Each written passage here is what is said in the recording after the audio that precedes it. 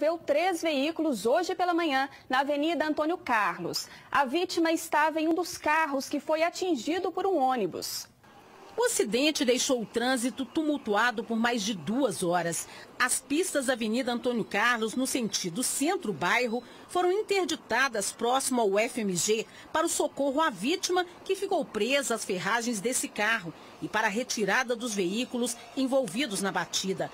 O motorista do Linha teve que esperar o reboque. Ele conta que estava indo trabalhar quando o carro foi atingido na traseira. Parei no sinal ali atrás, por volta de 5h40, olhei no retrovisor, o rapaz do Uno parou também.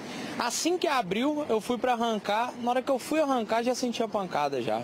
Leonardo Silva, que dirigia o Uno atingido pelo ônibus, foi levado para o hospital de Lomberens. Segundo a PM, o motorista do coletivo disse que se distraiu e não percebeu a mudança no sinal de trânsito. Quando ele viu, já estava muito em cima, não teve como ele evitar o sinistro. Tem é, suspeito de embriaguez nem nada? Não, aparentemente não.